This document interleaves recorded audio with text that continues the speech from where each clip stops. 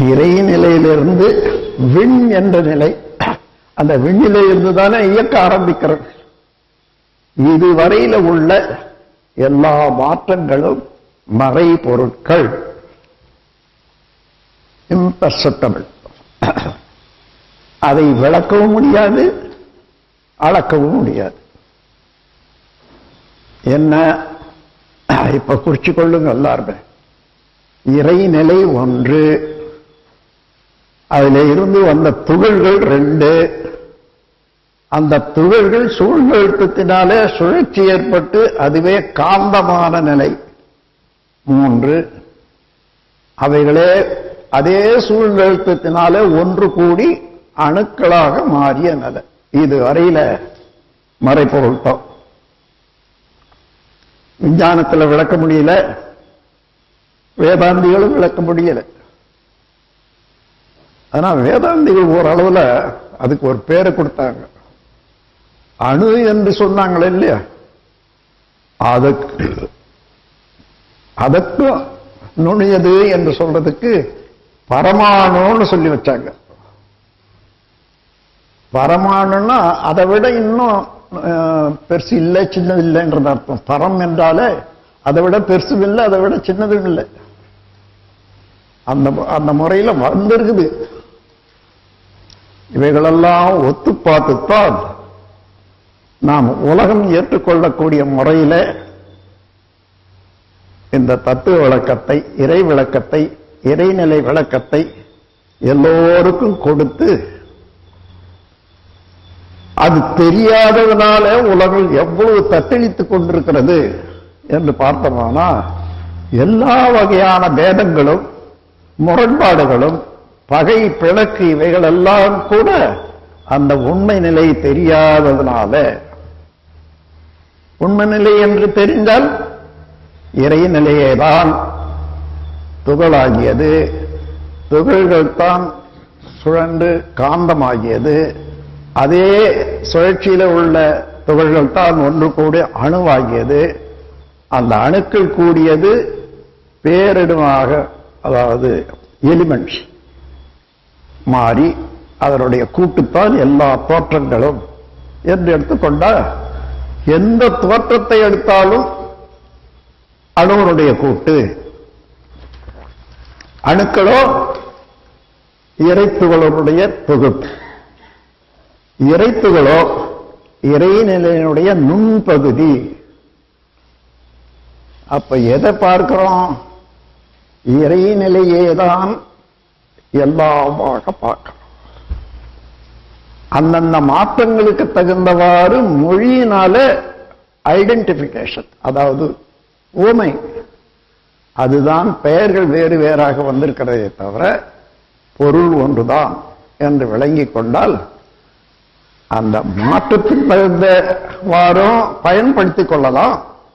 உண்மை நிலையை வைத்துக்கொண்டு எல்லோரும் ஒன்றுதான். என்ற உணர்வும் பெறலாம் உலகிலே இந்த உண்மை தத்துவம் விளங்கிவிட்டால் ஒருவரை ஒருவர் மதிக்காமலோ அல்லது துன்புறுத்துவதோ இருக்க முடியுமா பாருங்க. இறைநிலையாகவே இன்னொரு மனிதனை தெரிந்து கொண்டால் இறைநிலையே துகளாகி காந்தமாகி அணுக்களாகி அணுக்கள் கூட்டினால பஞ்சபூதங்களாகி எல்லாம் வந்ததை போல இது ஒரு உருவம். அப்போ நாம் அவருக்கு மனத்தாலேயோ உடலாலேயோ துன்பம் கொடுத்தால் யாருக்கு துன்பம் கொடுக்கிற? இறைநிலைக்கே தான் துன்பம் கொடுக்கிறேன். அப்போ அங்க வேற இறைநிலை இல்லை இங்க வேற இறைநிலை இல்லை. அங்க கொடுக்கிற துன்பம் இங்கேயும் தானே இருக்கும். துன்பம் கொடுக்கக்கூடியவர் தன்னை துன்பப்படுத்திக் கொண்டுதான் இன்னொருவருக்கு துன்பம் கொடுக்கிறான். அப்ப ரெண்டு இடத்துலயும் கெடுக்கிறான். இந்த உண்மை உணர்ந்தால் துன்பத்துக்குரிய எண்ணமும் செயலும் மனிதனாண்ட வராது. இப்ப வந்து பழகிட்டுது இனிமே அதை குறைக்கணும். பழக்கத்துல வந்துட்ட பிறகு மனிதன் விளக்கத்துக்கு திரும்புறது கொஞ்சம் சங்கடம் தான் ஒரே ஒரு ஜீவன் இந்த பிரபஞ்சத்துல பழக்கத்துக்கும் விளக்கத்துக்கும் இடையே போராடி கொண்டிருக்கக்கூடியது ஒரே ஒரு ஜீவன் அதான் மனிதன். பழக்கத்தையும் விட முடியாது விளக்கத்தையும் மறக்க முடியாது. ஆனால் நான் அப்படித்தான் இருக்கணும் இப்படிதான் இருக்கணும்னு சொல்லிக்கிட்டே இருப்பான் யாரும் முடியல. அதனால இதெல்லாம் இயல்பாகவே ஏற்பட்டிருக்கிறது என்றதை உணர்ந்து கொள்வது உணர்ந்து கொண்டு இந்த உண்மையை உணர்ந்து கொண்டால் இறைநிலை சுத்த வெளிதான் என்று உணர்ந்து கொண்டால் தெய்வம் எத்தனை இருக்கப்போ எல்லா தெய்வமும் பென்ஷன் கொடுத்து அனுப்பிச்சிட வேண்டியதுதான். ஒரே ஒரு தெய்வம் தான் இருக்கும். அதான் சுத்த வெளி அன்பர்களே ஒவ்வொரு இடத்துலையும் கொஞ்சம் ஆழம் போனா நம்ம கதையினுடைய ஒரு ஒரு வரி. தெரியும். இப்போ நீங்க இப்ப கேட்டதெல்லாம் கேட்டதாகவா நினைக்கிறீங்க? இதெல்லாம் நம்ம கதை. அவ்வப்போது நம்முடைய சரித்திரம் தான் எண்ணமாக வருது. ஆறாவது அறிவின் மூலமாக. இது ஏதோ நினைவு வருதுன்னு நினைக்கிறோம். இல்லை. அந்தந்த சொல்வரை வர்றபோது அந்தந்த நிலையில் என்னென்ன நடந்ததோ அதெல்லாம் வருது.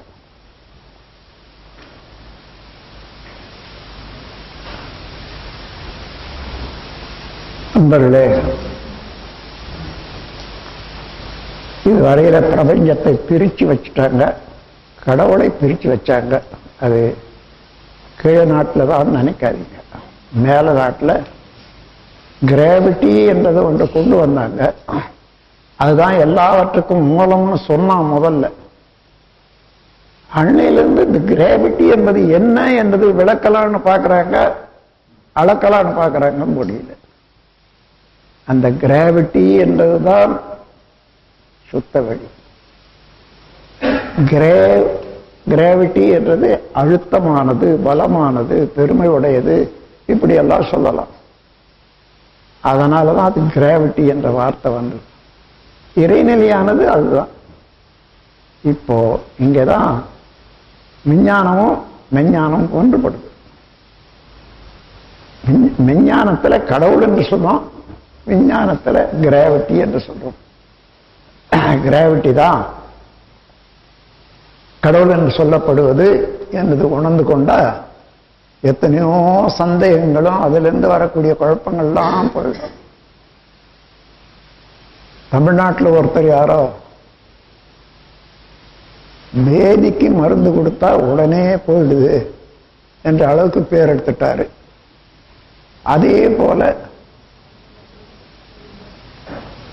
ஆந்திராவில் ஒருத்தர் நல்ல பேர் எடுத்துட்டாரு. அவர் தான் பேதிக்கு மருந்து கொடுக்கறதுல கெட்டிக்காரு. நிறுத்திட்டு இதை அவர் கேள்விப்படுறாரு இவர் அவரை பத்தி கேள்விப்படுறாரு. ஆந்திராவில் கூட ஒருத்தர் இருக்காரா? நம்ம போலதான் ஆனா அவர் என்ன மருந்து உபயோகப்படுத்துறாரோ தெரியலையே. என்றது இவனுக்கு. அவனு தமிழ்நாட்டில் ஒருத்தர் இருந்து பேதிக்கு மருந்து கொடுக்குறாராம் உடனே தீர்ந்து போகுதுன்னு சொல்றாங்க. அவன் என்ன மருந்து கொடுக்குறானோ தெரிஞ்சா நல்லா இருக்குமே. இது இப்படியா? வேண்டாம். நேரடியா போய் பார்த்து கேட்டுடுவோன்னுட்டு போனான் ஒருத்தன். அப்போ மீட் பண்ண யாரு? ஐயா நீங்கள் தானே வேதிக்கு மருந்து? ஆமாம் நீங்க என்ன மருந்து கொடுக்குறீங்க? அவர் சொன்னாரு சொன்டின்னு சொன்னாரு. அவன் கேட்குறான் நீ என்ன மருந்து கொடுக்குறீங்கன்னு? நான் சுக்குன்னு சொன்னேன். ஓஹோ இது வேற அது வேற தான் ஆனா அது ரெண்டுக்கும் அது நான் அந்த சுக்குன்றதை நான் பார்த்தா நல்லதுன்னு நான் சொன்டின்றதை பார்த்தா நல்லதுன்றா இவன். பாக்கெட்லயே வச்சுக்கிறாங்க ரெண்டு பேரும். இவனும் எடுத்து வச்சா அவனும் எடுத்து ரெண்டு சுக்கு தான்.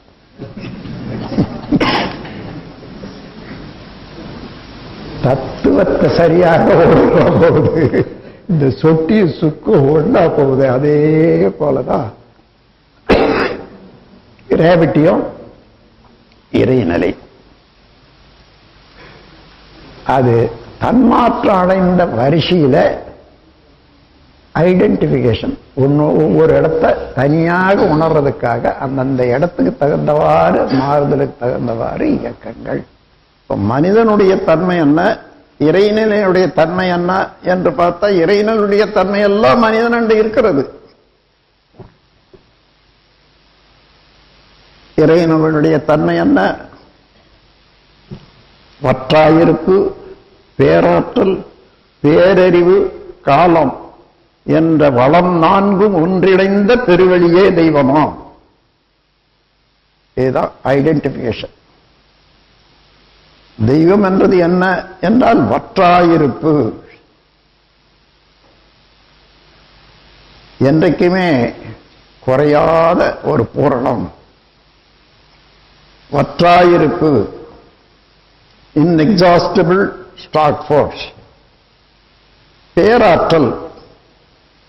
உலகத்தில் எதை ஒரு ஆற்றல் என்று எடுத்தால் அந்த ஆற்றலுக்கு அடிப்படையாக இருக்கக்கூடிய ஆற்றல் தான் இது பேராற்றல். பேரறிவு. எல்லாம் உணர்ந்து கொள்ளக்கூடிய அறிவு என்று சொல்லலாம் என்றாலும் இந்த அறிவு நான் ஒரு நூலில் எழுதியிருக்கேன். Consciousness consciousness conscious conscience consciousness consciousness அப்போ அறிவிலேயே அறிவை பற்றிய நுணுக்கமா எல்லாம் உணர்ந்த நிலையில இருக்கக்கூடியது ஆம்னிஷியன் கான்சியஸ்னஸ் என்று சொல்வார்கள். அத்தகைய அறிவுதான் எல்லாரிடமும் இருக்கிறது. அப்போ இருப்பு பேராற்றல் பேரறிவு காலம். காலம்னா என்ன? எல்லாவற்றையும் மாற்றிக்கொண்டே இருக்கும். அது மாத்திரம்? காலம். எல்லாவற்றையும் மாற்றிக்கொண்டே இருக்கும். ஏனென்றால் இறைநிலையானது நெருக்க சூழ்ந்தல் ஆற்றல் ஆகையினால் ஒவ்வொரு இறுக்கமும் உண்டானால் அந்த இறுக்கத்தினுடைய உச்சம் போற போது மறுபடியும் திரும்பித்தான் பூரி. அங்கே இருக்க ஆற்றலே விளக்கு ஆற்றலாக மாறி வருகிறது இந்த இருக்கு ஆற்றல் விளக்கு ஆற்றல் ஆரம்பத்திலேயே இருக்கிற போது படக்கூடிய அதிர்வு தான் ஒவ்வொரு அதிர்வும் காலத்தினுடைய நுண்ணழகு. அது எவ்வளவு இருக்கும்? காலத்தின் நுண்ணழகு கண் சிமிட்டும் நேரம்.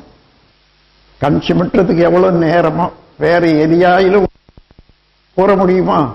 இதுதான் காலத்தின் நுண்ணழகு அதை பத்து தரம் இருபது தரம் முப்பது தரம் வச்சுக்கிட்டீங்கன்னா அந்த காலத்தினுடைய நீளம் வரும்.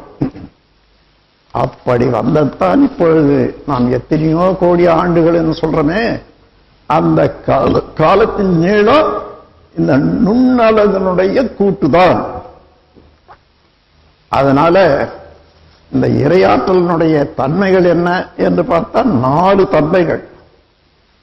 இரையாற்றல் இரையாற்றலுக்கு அறிவு இருக்கிறது என்று சொல்றதை விட இறை அறிவாக இருக்கிறது. இரையாற்றலே காலமாகவும் இருக்கிறது. இரையாற்றலே இன்எக்ஸாஸ்டிபிள் ஸ்டாக் ஃபோர்ஸ் பூரணமாக எப்பொழுதும் அது குறையாத ஸ்டாக் ஃபோர்ஸா இருக்கிறது. இப்படி எடுத்துக்கொண்டாதான் அதற்கு இந்த குணம் இருந்தது என்று சொல்றதை விட அந்த குணமே அதுவாகத்தான் இருக்கிறது. பிரிக்கவே முடியாது. அதுக்கு இந்த வார்த்தையை கொஞ்சம் மனசுல வச்சுங்க.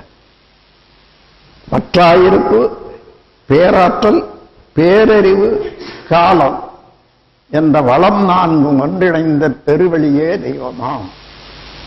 உண்மை விளக்கத்துக்கு எங்க போறது?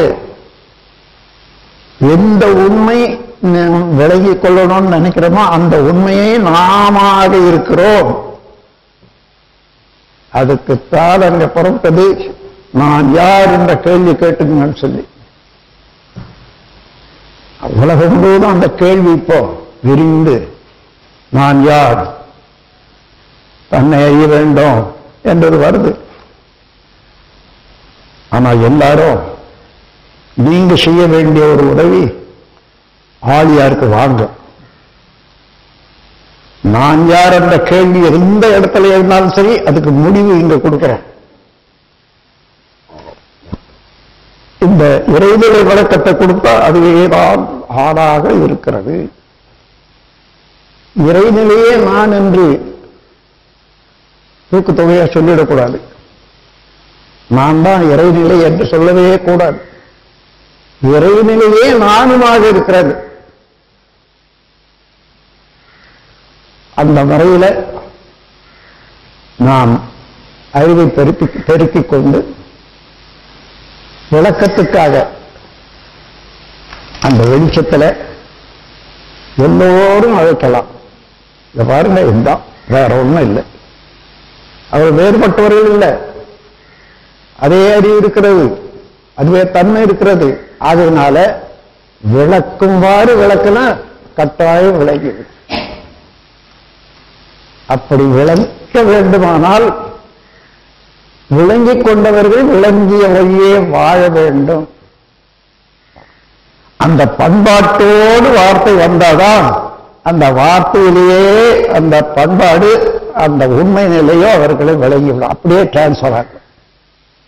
நீங்க ஏதோ ஒண்ணு வச்சுக்கிட்டு ஒன்று சொல்லிக்கிட்டே இருந்தா அதே போல அவங்க இன்னொன்று வச்சுக்கோங்க. அதற்காக இந்த மங்கத்தில் உள்ள அறிஞர் பெருமக்கள் அனைவரும் நான் உணர்ந்த வழியே வாழ வேண்டும். வாழ்ந்ததை எடுத்து பிறருக்கு எடுத்து சொல்லி வாழ வைக்க வேண்டும். போதனை முறையெல்லாம் இதுவரையில் நடந்து வந்தது போதும். இனிமேல் சாதனை முறைக்குத்தான் வேண்டும் வர வேண்டும். அதை உணர்ந்த போதுதான் அருகுண சீரமைப்பு என்ற ஒரு தத்துவத்தை வச்சு அகத்தாய் பயிற்சின்றதை கொண்டு வந்தேன் இல்லைன்னா சாதனை முறைக்கு வராது.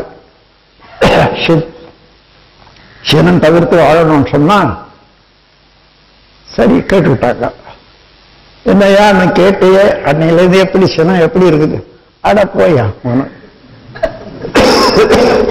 அவனுக்கு வரக்கூடிய கோபத்திலேயே தெரிஞ்சுக்கலாம். இருந்தா அந்த சினம் தவிர்த்து அப்பேற்பட்டவங்க பேசினாங்கன்னா என்ன ஆகும்?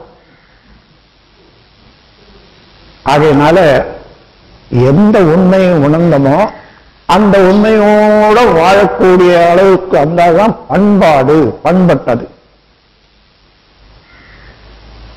அந்த நிலைக்கு மனித குலத்திலே கொண்டு வரக்கூடிய ஒரு ஆற்றல் உங்கள் ஒவ்வொருவரிடமும் நிரம்பி இருக்கிறது.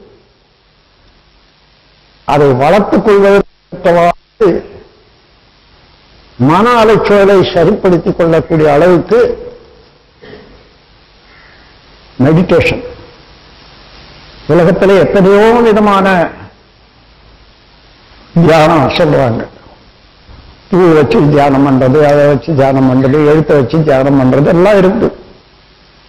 நம்முடைய தியானம் அப்படி இல்லை. எந்த பேராற்றல் புகழாகி காந்தமாக இருக்கிறதோ அந்த காந்த சக்தியின் திணிவுதான் கருமையமாக இருக்கிறது. அந்த கருமையத்தையே அப்படியே கொண்டு வந்து நீட்டி அந்த உணர்வைத்தான் நாம். அப்போ எங்கிருந்து மனம் உற்பத்தி ஆகிறதோ அதிலேயே தன்னை அடக்கம் செய்கிற போது தானே அதுவாகி அங்கதான் நான் என்பதற்கு விளக்கம் உண்டாகும் உங்கள் அனைவரையும் நான் மனங்குளிர வாழ்த்திக் கொண்டிருக்கிறேன். வாழ்க வளமுடன். நீங்களும் உங்கள் குடும்பமும் தொழில்களும் சிறப்பாக நாளுக்கு நாள் மென்மேலும் சிறப்பு பெற்று வாழ வேண்டும் என்று வாழ்த்துகிறேன். வாழ்க வளம்